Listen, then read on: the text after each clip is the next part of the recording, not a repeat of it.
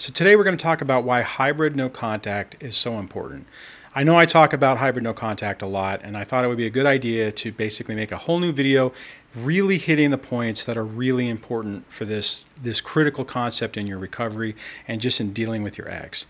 Now, hybrid no contact is really important when you still have contact with your ex, whether that's with primarily it's with children, but it could also be business, business ventures, or anything like that. Anything to where you you have to remain in contact, where basically no contact isn't an option. So you, the other issue with this is if you can't stop reacting emotionally, and when what I mean by that is you know, every time you get an email from them or you see something from them, you have that uh, that triggering response where you're really anxious and you're really uh, frustrated. And whenever you get to where you feel like you have to respond, like they send something and you flick out the keyboard and you start typing really fast to just count, uh, counterpoint every point that they make. The other issue why hybrid no contact is really important is whenever you have already been trying to work with them, you've been doing things, and they have continued time and time again to prove that they won't change, they won't reason with you, they're going to be continue to be argumentative. Basically, they're validating on a reoccurring basis that they fit the criteria of a toxic person or a person with strong narcissistic traits or a person who actually has the full-blown um, narcissistic personality disorder, when you finally start seeing that, you have to start taking actions to help yourself. And that rolls into when you feel like your life is spinning out of control. And no matter what you do, you feel like you're banging your head against the wall and you're not getting anywhere. Hybrid no contact really helps you cut through that and help you get to a situation where you can deal with that. And bottom line is when you really want that frustration, that anger, and that chaos to finally stop. Okay, so what is hybrid no contact? If you haven't seen any of my other videos, or maybe you've heard me talk about it, but you're not really sure what exactly it means, it's a framework for communication to limit conflict. It's a way to address communications to to give yourself the time to respond so you don't get caught up in an emotional response and you don't allow yourself well you can't you're still going to be triggered but you basically allow yourself to to hand, to take the triggering or the uh, the sarcasm or narky response that they send you and give you a time to process it and to really think about your response. Okay so now how exactly do you go about implementing hybrid no contact and I'm going to go through five steps on this that, that really just kind of boils it down to the simple terms and helps you really understand this. Step number one, do everything through email. Stop communicating face to face. Stop communicating through through um, the telephone. I would even recommend that you don't communicate through text message, although that, that you still have an ability to pause there. But there's too much of a of a, uh, a poll to try to respond quickly. What you basically want is you want to create an environment that gives you time to deal with the communication and decide how you're going to respond to it. Okay, so the next step, once you get that email, is you read it, but you do not respond immediately. More than likely, what's going to happen is when you read that email, it's going to irritate you. It's going to make you angry. It's going to frustrate you. They're probably going to say some condescending things. Basically, they're going to throw these little arrows, flaming arrows right at you to try to get you to respond. And keep in mind, these people know you. So they know what is going to be the most hurtful, what is going to be the most triggering for you to try to get you to respond. You read it, process it, do not respond immediately. That's key. Okay, the third step reread and look for topics that require responses. What I'm saying with that is, is if they're sending something to you and they're telling you how you're a piece of crap of a parent or how you're not involved or how you're a Disneyland mom or dad or whatever the issue is, ignore that. What you're looking for is, you know, if it's an email about Johnny going to soccer practice, is there, you know, look in that and if they're saying you're a piece of crap because you don't tell me anything, whatever, and they're asking, let's say, for the time of the next practice, find where they're asking something that requires a response. Now, in that situation, if you know that the time is Saturday at three o'clock at Park Four, then you send an email back and say, "Hi, so and so, comma, the practice is at you know the practice, the game, the whatever is at this time." That's it. You don't address anything else. You only respond to what absolutely needs to be responded to.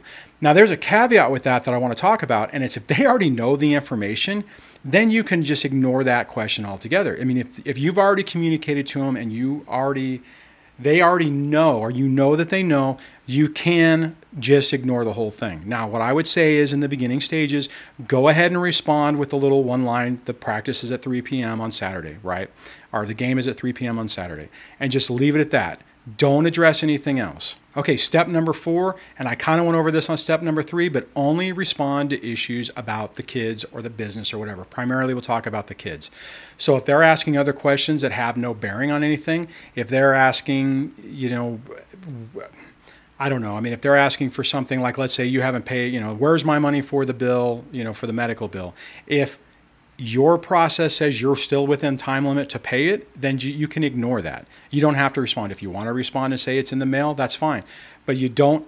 But just respond to that. So if it if if it's a you know basically an issue that's not really about the kids or expand upon it, expounds upon it. But if you want to respond, just answer the question and don't add any extra you know embellishments or sarcasm on your side, and just basically keep it simple and to the facts. Okay, the last step of this is wait to send. Now, I'm not saying that you have to wait to send a day or two days or whatever, but you need to wait.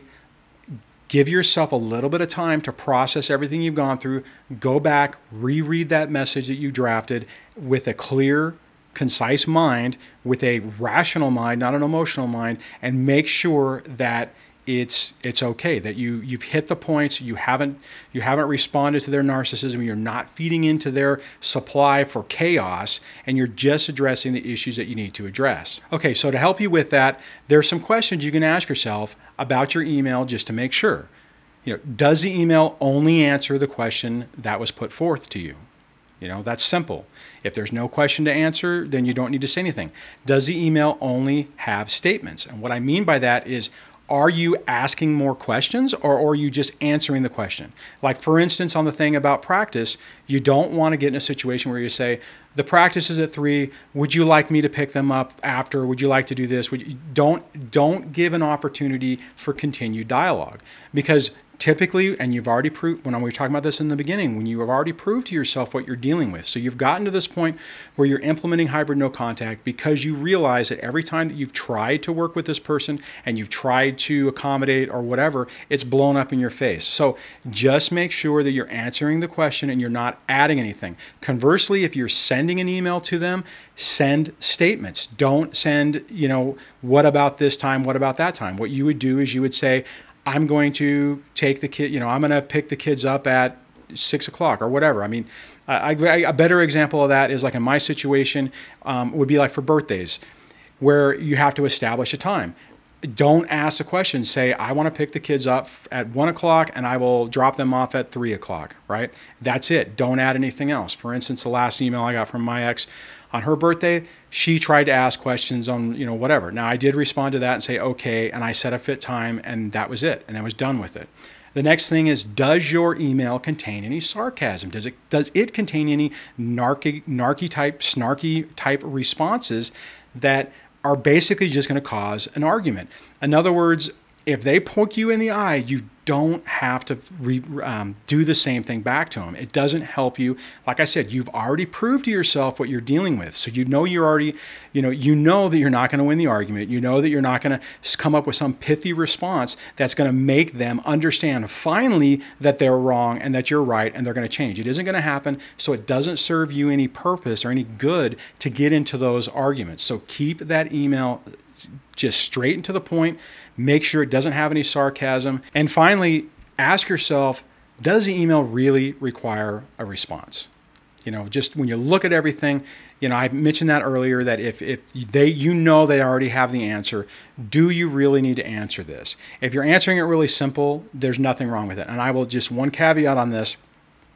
If you're still in the middle of court proceedings and you're still working on your custody, respond, right? If they know the answer, but they're asking you, respond. And don't say you already know the answer. You know, you got the answer before. I gave you that answer 15 other times. You know, attach the email where you said it. If they ask, you know, the same question, does Johnny have a have a lunchbox? And you've already said yes, and they ask it again, just say yes. Johnny has a lunch lunchbox.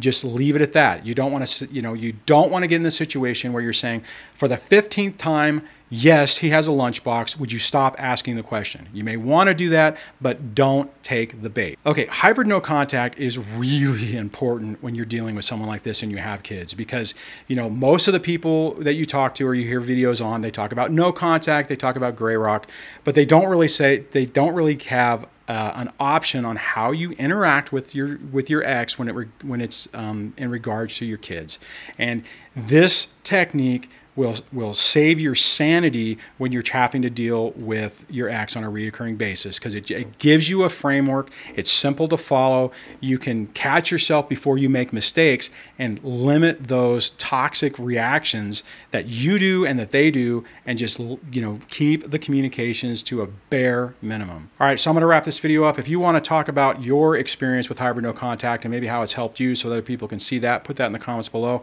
If there's something you don't understand or maybe I didn't cover quite right, ask that question in, in the comments below. If you like this video, give it a thumbs up. If you like the channel, please subscribe. If you haven't gone over to the Dad Surviving Divorce website at dadsurvivingdivorce.com and signed up for the newsletter, please do that. That'll put you on my nifty little list where I send out specific little information and background information that I don't normally put on the uh, YouTube channel or on the website. So on that, I hope you're having a good day. Guys, it gets better. Just take deep breaths and just keep plugging along and I will chat with you guys in the next video. So take care.